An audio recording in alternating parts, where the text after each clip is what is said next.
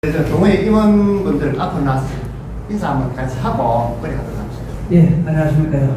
저는 구미의 김진입니다. 상주에서 번식에서 이제 일반 사육으로 넘어가려고 준비하고 있고 비육도 좀 공부 열심히 해보고 싶어가지고 이제 독촉 동계에 가입했는데 또 부회장 직책을 맡겨주셔가지고 열심히 어, 노력하는 모습 보여드리겠습니다. 경북 경주에서 예, 한우 일반 사역하고 있는 최준호라고 합니다. 그러니까 저는 경북 경산에서 일간 사역하고 있는 박재효라고 합니다. 예, 총무직을 맡고 있습니다. 경북 안동에서 그 일괄 사육으로 이제 소를 키우고 있는 김진한입니다. 이번에 저 감사를 받고 있습니다. 네. 네.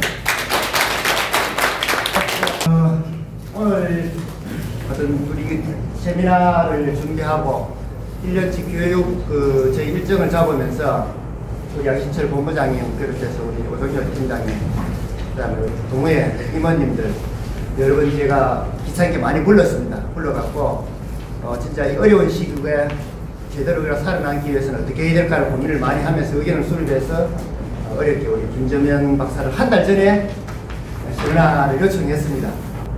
우리 김 박사님 주로 얘기하시는 것 중에 하나가 제대로 익히가 농장에서 익히가 나야 소비자들이 안 떠나야 우리 고기가 팔릴 거 아닙니까?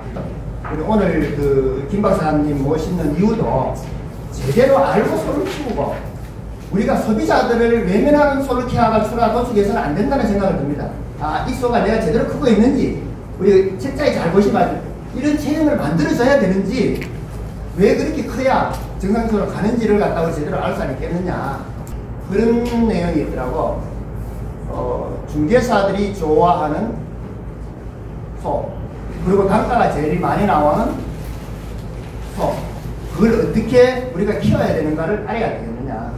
소위 말해서 어, 평가하는 등급 평가하는 평가사들도 마찬가지고 그 다음에 중개사들도 제, 제 생각에는 한 번쯤 이렇게 모시고 와서 어떤 소들이 등급을 잘라주면서 소비자들한테 예면 안 받고 맛이 좋으냐. 그것도 우리가 좀 한 번쯤은 어, 고민을 해볼 필요성이 아니겠나 그래서 우리 여기 어, 회원님들 중에 능력평가 대회라든지 축산물 품질 평가원에서 하는 평가하는 데 있어 제대로 우리가 상위권에 갈 수 있는 길이 안 되겠느냐 하는 개인적인 생각을 합니다. 제 나름대로는 어, 회원 여러분들 위해서 어, 진짜 우리가 살아나기 위해서 어떻게 해야 될까 많은 고민을 합니다. 오늘 하여튼 좋은 교육 잘 받고 질문 칼, 칼 같은 질문을 좀 많이 준비하십시오. 그래서 우리 김 박사님 좀 입장에 난처할 정도로 우리 수준이 높아져야 됩니다. 하여튼 오늘 좋은 시간 되시기 바랍니다. 감사합니다. 김정현 박사님, 우리 대표 이사님을 앞으로 모시도록 하겠습니다. 큰 박수로 강의를 시작하겠습니다. 예, 반갑습니다. 예, 저는 김전현이고요. 뭐 저를 아시는 분들도 예, 많이 오셨는데요. 아시는 분도 많고 아마 처음 뵌 분도 있을 거라고 봅니다.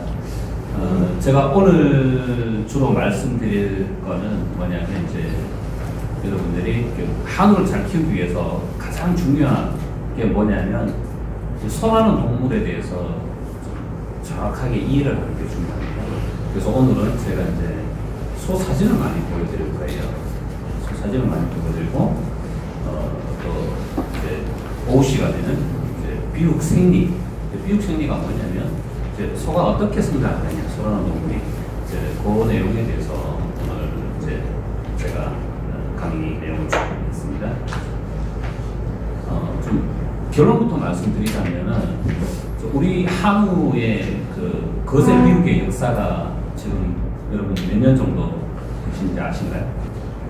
예, 2000년대 중반부터 본격적인 한우 거세 비육이라는 예, 것을 많이 했어요 우리나라가. 자 어때요? 생각보다 역사가 짧죠? 예, 짧습니다. 예. 짧음에도 불구하고 사실은 우리가 예, 특히 이제 종교역 같은데 또 농협 같은데 또 여러분들이 많이 노력을 해가지고 짧은 역사에도 불구하고 많은 발전이 있는 것은 사실입니다. 아 뭔가 좀 우리가 정확하게 소라는 동물을 이해를 못하고 키운 부분이 또 많아요. 예, 그거는 제가 어, 뭐 저는 빅데이터 전문가거든요. 빅데이터로 보면 너무나 명쾌하게 아 우리가 지금 뭔가 잘 못하고 있다는 것을 정확하게 설명을 해주고 있어요. 특히 이제 일본의 예, 연차별 데이터, 또 우리나라의 연차별 데이터를 비교를 해보면 아, 우리가 좀 뭔가 서로를 잘 이해를 못하고 키우고 있다는 게 너무나 극명하게 드러납니다. 소 사진만 주구장창 보여드릴 텐데 소 사진만 봐도 여러분들이 뭔가 아, 좀 잘못하고 있구나 라는 사실을 아마 예, 뼈저리게 느끼게 될 겁니다. 자, 화우와 한우는 어떻게 다르게 살아갈까를 이렇게 크게 제목으로 해놨습니다. 이제 제목을 이렇게 해놨다는 얘기는 다르게 살아니까 이렇게 해놨겠죠, 그죠? 예. 지금 화우 사진을 제가 많이 보여드리는데 여러분들이 보는 화우는 일본에서 소를 최고 잘 키우는 극강의 고수들이 키운 화우 사진을 많이 보여드릴 거예요. 그리고 한우 사진을 많이 보여드리는데 예, 한우 대한민국에서 소좀 키운다 하시는 분들의 예, 고수들의 한우 그리고 전 여러분들처럼 예, 잘못 키우시는 분들의 한우 이걸 섞어서 보여드릴 겁니다. 그래서 소 모양을 딱 보시면 여러분들이 아 하실 겁니다. 그래서 오늘 제 강의를 듣고 저 문 밖으로 나가실 때는 여러분들 머릿속에 기존에 갖고 있던 예, 여러분들이 추구하는 기대하는 소의 모양 예, 그거를 싹 비우고 예, 오늘 제가 보여드리는 소의 모양으로 각인을 시켜 가셔야 돼요. 또 알아보겠습니다. 자, 요거는 이제 제가 2017년도에 일본의 어, 센다이 파울 공진에 가서 찍어온 사진입니다. 그러니까 암사적이죠. 자, 지금부터 소를 보실 때요. 어, 지금 여러분들이 보통 소를 보실 때, 암소 보실 때 예, 기준을 뭐로 보통 봅니까?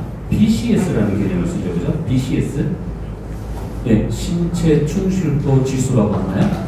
예, BCS라는 개념으로 보셨을 거예요. 자, 저는 BCS 기준으로 소를 보지 않습니다. 소를 딱 봤을 때 근육이 많으냐, 지방이 많으냐. 그렇게 나눠서 봅니다. 첫 번째. 근육이 많으냐, 지방이 많으냐. 자, 이 관점은 매우 중요합니다. 자, 비만인 사람이 건강할까요? 근육질인 사람이 건강할까요? 자, 누가 더 건강할까요? 근육질인 사람이 더 보통 건강하죠. 자, 소도 근육질의 소가 건강할까요? 지방덩어리 소가 건강할까요? 근육질의 소가 건강할까요? 근데 소는 근육질의 소가 사실 잘 안 나오죠. 예, 사람은 나오죠. 예, 일부러 만드니까요. 예. 자, 그렇지만 우리가 소도 예, 일본 소를 보시면 근육질의 소가 상당히 많다는 걸 느끼실 거예요. 자, 일본 소는 근육질의 소가 생각보다 많아요. 근데 우리나라에는 그런 소가 없어요. 자, 뭐가 다를까요? 일본하고 우리나라의 상황이. 자, 소가 다를까요? 어, 사육 환경. 예. 또 뭐가 다를까요? 먹이는 밥. 예, 어떤 예, 예, 소의 체형을 봤을 때 모양이 다른 것은 그 유전자의 차이도 있겠지만 영양과 예, 사양 그리고 아까 성우님 말씀하신 환경 이런 것들이 다 영향을 줍니다. 제가 좀 웃기는 질문을 할까요? 여러분들 번식구를 다 칸칸이 가둬서 키우는 분이 많죠. 자, 대한민국 어느 강사가 어느 교수님이 번식구를 칸칸이 가둬서 키우라고 가르치는 사람이 있었나요? 없었나요? 없습니다. 없었죠. 칸칸이 가둬 키우라고 배운 적 없죠. 근데 왜 여러분들 칸칸이 가둬서 키워요? 네, 관리하기 편하고. 또요. 자, 답은 나왔어요, 그죠? 관리하기 편하죠. 내가, 예, 그냥 별, 예, 생각 없이 그냥 한 거예요. 자, 근데 그것이 과연 엄마 소한테 쾌적한 환경을 제공하는 조건을 충족시키냐. 네, 그건 고민. 소를 보실 때 근육이 많으냐, 지방이 많으냐. 요 관점으로 나눠서 봐야 됩니다. 자, 요소를 한번 볼까요? 어, 요소 어떻습니까? 근육이 많은 것 같습니까? 지방이 많은 것 같습니까? 근육이 많은 것 같아요? 무슨 근거로요? 예, 일단 미침이 없다. 또 형수가 야다야다고. 예, 예, 그래서 역시 회장. 자, 사람이 근육량이 최고 많은 게 사람으로 따지면 근육량이 최고 많은 부위가 어딘지 아세요? 저기 허벅지입니다. 허벅지. 네, 그래서 실제로 어, 인체 내에서 있는 근육에서 산, 어, 산소를 최고 많이 소비하는 근육이 여기 허벅지입니다. 속도 마찬가지입니다. 이 부위가 대표적으로 근육이 많은 부위예요. 그래서 어, 저는 이제 암소를 볼 때는 근육이 많으냐 적으냐를 판단할 때 어떻게 보느냐 여기 꼬리뼈하고 요 사이에 직선을 쭉 긋습니다. 자, 직선을 쭉 끄면 어때요? 뭐 이렇게 볼록한 소가 있고 이렇게 된 소가 있어요. 그죠? 자, 여러분들 집에 이렇게 직선으로 끄면 이렇게 된 소가 많죠? 예. 이렇게 된 소가 많다는 얘기는 뭐예요? 엄마 소가 근육이 적다. 엄마 소는 왜 근육이 적을까요? 예? 예, 새끼한테 뺏겼으니까.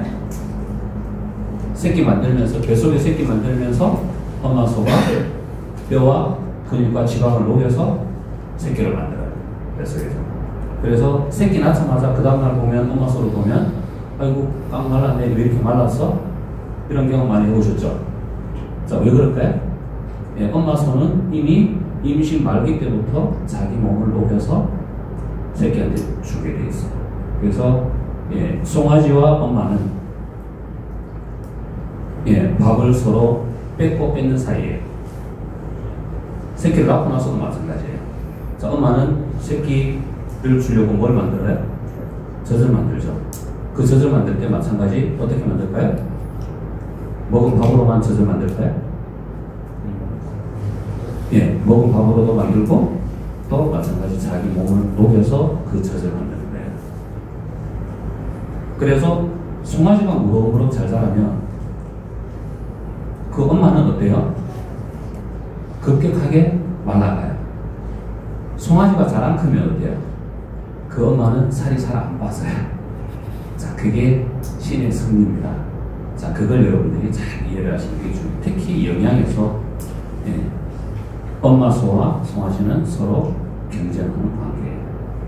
그래서 우리가 예, 적절하게 그 균형을 맞춰주는 게 우리 몫이고 그것을 뭐라고 하냐면 우리가 사양 관리라고 하는 겁니다. 끄고 보면 약간 이쪽으로 있다 그죠? 그래도 근육이 조금은 예, 있는 편이고 전체적으로 봤을 때 지방이 좀 많은 기미가 있나요? 지방이 많다는 기분은 반드시죠. 그죠? 그래서 뭐 어, 고만고만한데 어, 그래도 지방은 좀 적은 편이고 그래도 근육은 좀 많은 그런 수법인 것 같아요. 자, 요선은 어떻습니까? 마찬가지 엄마 소죠, 그죠? 요 선이 조금 더 아까보다는 직선에 가깝죠, 그죠? 자, 근육은 아까 앞에 엄마 소보다 약간 적으면서 지방은 아까 소보다 어때요? 약간 더 많은 기능을 가지고 있는 것 같아요. 자, 다음 소 봅시다. 자, 요 손은 어떻습니까? 예. 전체적인 모양은 약간 앞에 두 소보다는 약간 더 통통한 느낌이죠. 그죠? 그러면서 여기서는 네, 거의 직선에 가깝고. 자, 그러면서, 네. 자, 요게 14개월짜리 처녀소입니다. 14개월짜리 처녀소. 초중고 전에 네, 소입니다. 자, 요 소의 특징이 좀 여러분 눈에 띄는 게 있나요? 딱 소를 보시고 느끼는 점, 특이한 점. 좀 다리가 길다는 게 느껴지시나요? 혹시? 그죠? 다리가 길다는 게 느껴지시죠? 예. 제가 요때 이 소를 보고 좀 충격을 받았어요. 엄청난 충격을 받았어요. 제가 이 소를 보고 이때 요 운동장에 있는 소들을 보고 제가 기존에 공부하던 번시구 예, 머릿속에 있는 것 제가 쓰레기로 다 버려버렸습니다. 왜 버렸느냐? 요 이제 한 분 한 분이 이렇게 그 이까리를 이렇게 잡고 서로하고 같이 입장을 해요. 이렇게 입장을 하는데 요새 요 흉수 부위 있잖아요, 그죠? 요 흉수 부위가 옆으로 이렇게 찰랑찰랑찰랑 깃발 흔들리듯이 이렇게 흔들리더라고요. 흉수 부위가. 자, 여러분들 집에 14개월짜리 청년소가 이 흉수 부위가 이렇게 찰랑찰랑 늘리는 소가 오늘 집에 가서 한 들는지 한번 보세요. 제가 이때 일본에 갔다 오고 지금 벌써 6년째인데 6년 뒤인데 아직까지 그렇게 똑같이 생긴 소는 한 마리도 못 봤어요. 똑같이 생긴 한 비슷한 소 세 마리를 봤어요. 예, 비슷한 소는 어떻게 생겼냐? 제가 그 축주분께도 말씀드렸는데 제가 고흥에 가서 한 마리 보고 고령에 가서 한 마리 보고 보은에 가서 한 마리를 봤어요. 자, 사슴같이 생겼고요, 소가. 자, 사슴같이 생겼다는 얘기는 뭐예요? 어때요? 송아지가 다리가 길다랗게 생겼다. 자, 이렇게 생긴 게 소가 정상적으로 순리대로 자란 모양이 아닐까?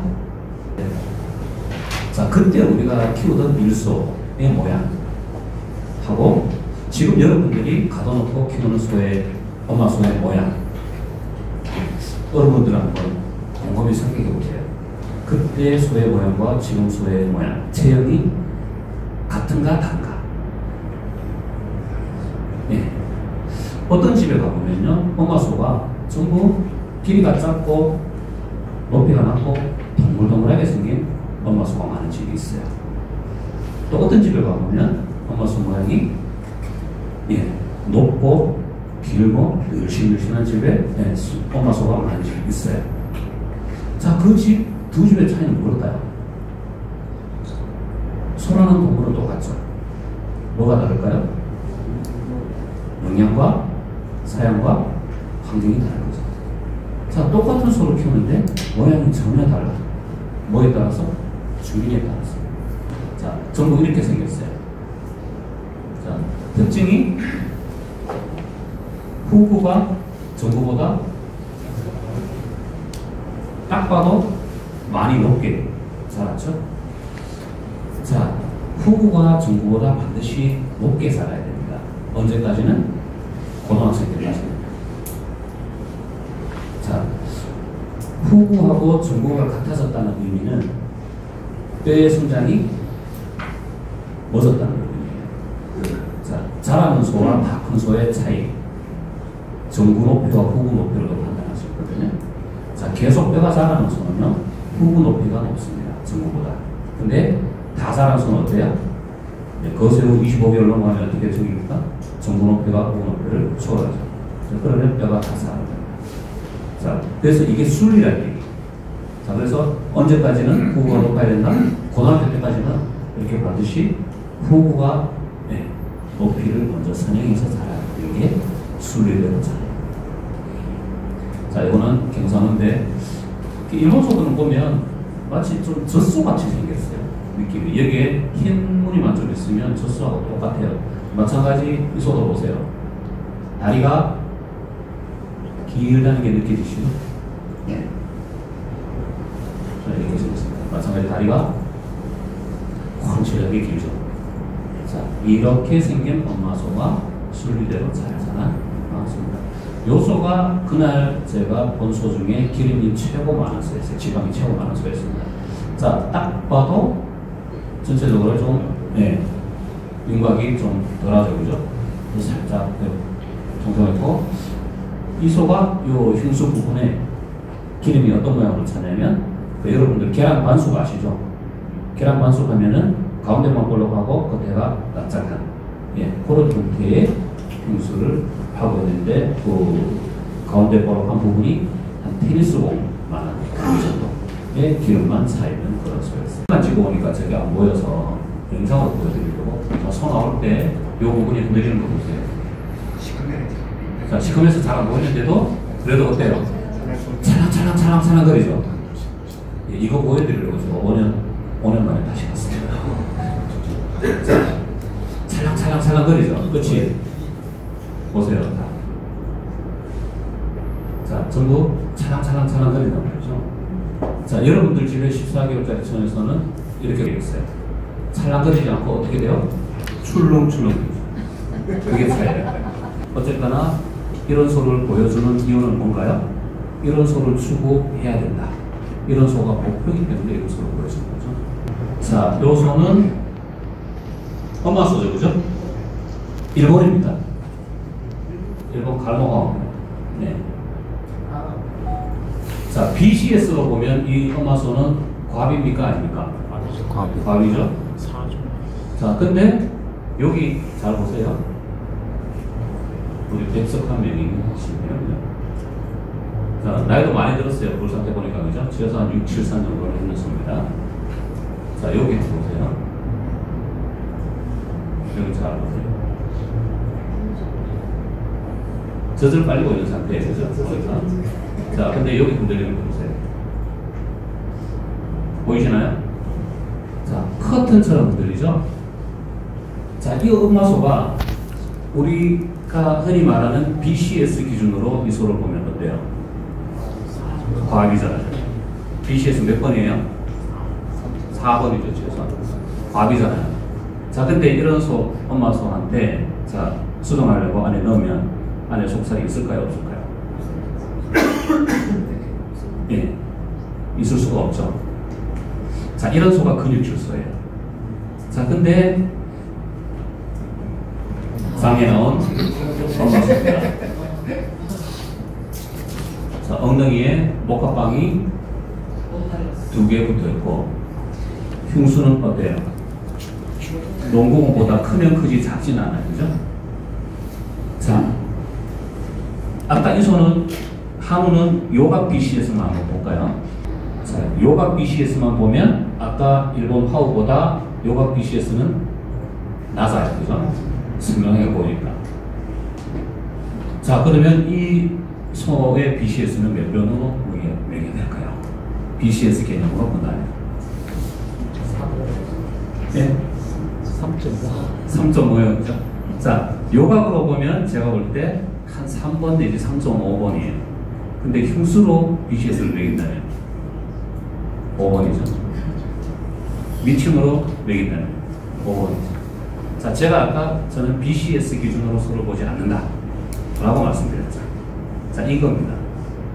자, 우리 생명체가요, 이 우리 학문과 이렇게 실제를 사실은 우리가 BCS라는 그런 기준으로 어거지로 묶어놓은 거죠.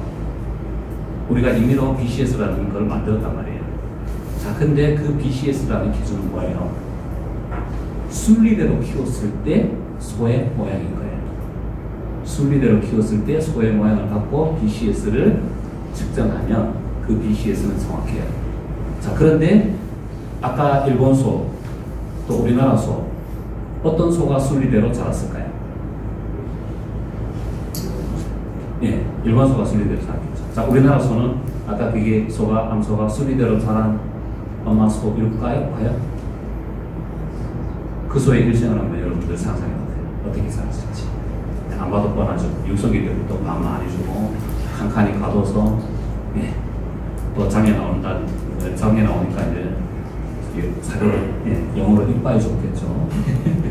자, 그래서 소를 볼 때, 자 여러분들이 갖고 있는 상식의 틀을 깨셔야 돼요.